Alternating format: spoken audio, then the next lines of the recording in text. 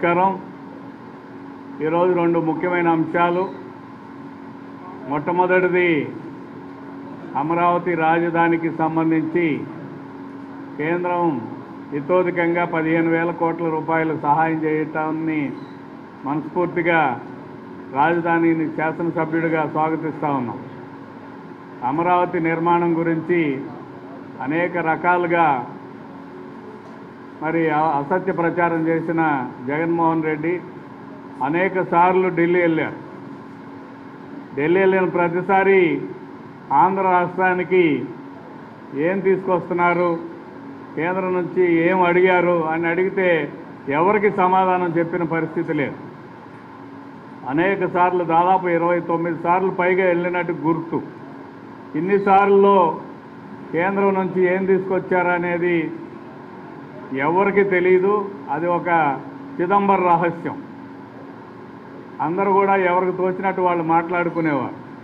కానీ నేడు మన ముఖ్యమంత్రి చంద్రబాబు నాయుడు గారు రెండుసార్లు వెళ్ళారు. బడ్జెట్ ప్రవేశపెట్టకముందు మొట్టమొదటిసారి ముఖ్యమంత్రిగా ప్రమాణ స్వీకారం చేసిన తర్వాత. ఈ రెండు సార్ల్లో ఆయన యొక్క పర్యటన స్పష్టంగా ఉంది.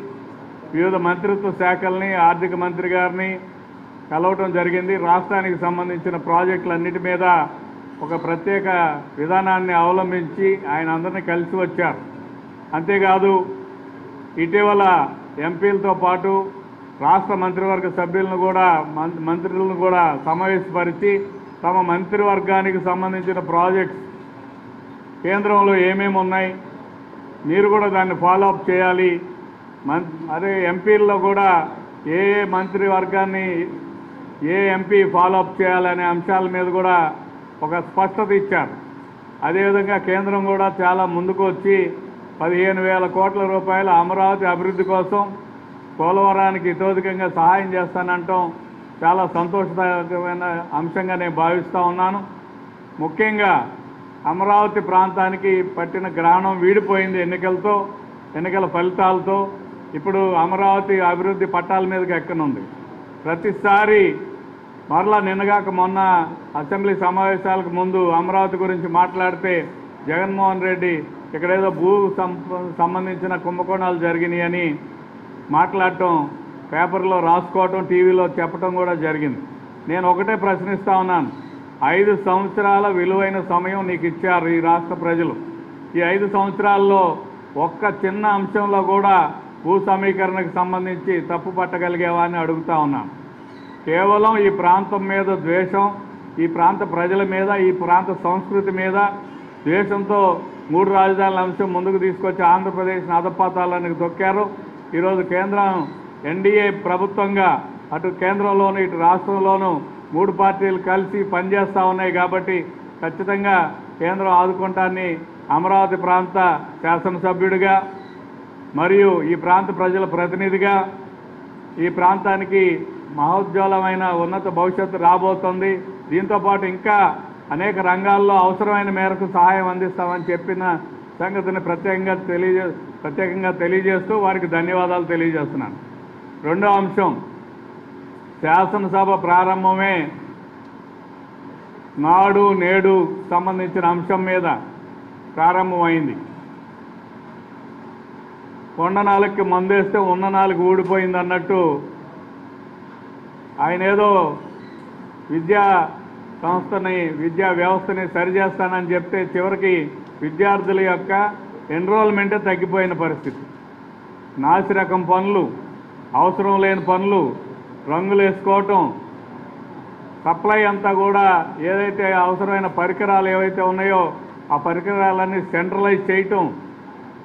ఎక్కడికక్కడ పేరెంట్స్ కమిటీ ముసుగులో వైసీపీ నాయకత్వం అటు ఉపాధ్యాయులను వేధించి ఇటు నాయకత్వం అంత వైసీపీ నాయకులు కార్యకర్తలందరూ కూడా దోపిడీకి ఇది ఒక కేంద్రంగా మారిపోయిన పరిస్థితిని ఈరోజు ఆ శాసనసభలో ఎత్తి చూపడం జరిగింది. అంతేకాదు దాదాపు ఇది టోటల్గా పదిహేను వేల కోట్ల రూపాయల దాకా ఖర్చు అయ్యే కార్యక్రమం. తొమ్మిది వేల కోట్ల రూపాయలు ఇప్పుడు ఖర్చు పెట్టారు. ఈ తొమ్మిది వేల కోట్ల రూపాయల్లో చాలా అవినీతి జరిగిందనేది మేము కేటగారికల్గా మంత్రి నారా లోకేష్ గారి దృష్టికి తీసుకురావడం జరిగింది. ఇందులో ఏ రకమైన ఎంక్వైరీనైనా డిమాండ్ చేశాం. ఖచ్చితంగా విచారణ జరిపి సంబంధిత వ్యక్తుల మీద చర్యలు తీసుకుంటాం అంటాం కూడా చాలా సం- సు- శుభ అని మీ అందరికీ తెలియజేస్తా ఉన్నాను ఎందుకంటే విద్యా వ్యవస్థని పూర్తిగా సర్వనాశనం చేశారు భ్రష్టు పట్టించారు.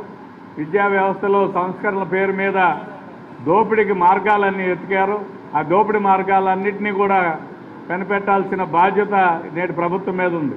దురదృష్టకరం ఏంటంటే నాడు చేసిన అవినీతికి నేటి ప్రభుత్వం జవాబు చెప్పుకోవాల్సిన పరిస్థితి కనిపిస్తూ ఉంది.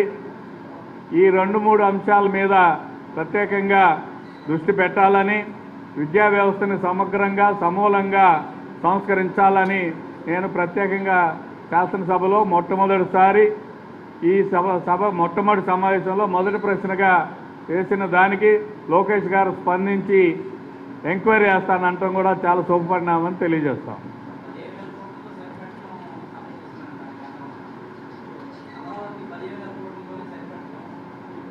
ఇంకా అవసరమైన మేరకు లక్ష కోట్లు అనేది మీరు వేసిన ప్రశ్నకి సమాధానం ఏంటంటే లక్ష కోట్లు దీనికి అవసరం అవుతాయనేది జగన్మోహన్ రెడ్డి చెప్తున్న అసత్య ప్రచారం. ఎందుకంటే అమరావతి అనేది సెల్ఫ్ ఫైనాన్స్ డెవలప్ అయ్యే సిటీ ఇది. ఇక్కడ ల్యాండ్ బ్యాంక్ ఉంది. అభివృద్ధి చెందిన కొద్దీ ఈ ల్యాండ్ బ్యాంకుకి వాల్యూ వస్తుంది. రాజధాని రైతులు దాదాపు ముప్పై మూడు వేల ఐదు వందల ఎకరాలు త్యాగం చేసి భూమిని ఇచ్చారు. ఈ భూమి ఈ ప్రాంత అభివృద్ధితో పాటు భూమి అభివృద్ధి భూమి వాల్యూ కూడా పెరుగుతూ ఉంటుంది. తద్వారా ఈ రాష్ట్రానికి ఇప్పుడున్న లెక్కల ప్రకారం ఈ రోజున్న లెక్కల ప్రకారం అమరావతి ప్రాంత రైతులు చేసిన త్యాగం రెండు లక్షల కోట్ల రూపాయల విలువ. ఇది ఇంకా పెరిగేదే కానీ తరిగేది కాదు. ఇది జస్ట్ ఒక ఇంధనం లాంటిది. కేంద్రం ఇచ్చే సహాయం కొంత ఇంధనం లాంటిది. స్టార్టింగ్ ఉపయోగపడుతుంది. ఇంకా ఇతోధికంగా సహాయం చేస్తామని కేంద్రం కూడా చెప్పినందుకు కేంద్రం ప్రభుత్వానికి ధన్యవాదాలు తెలియజేస్తున్నాం.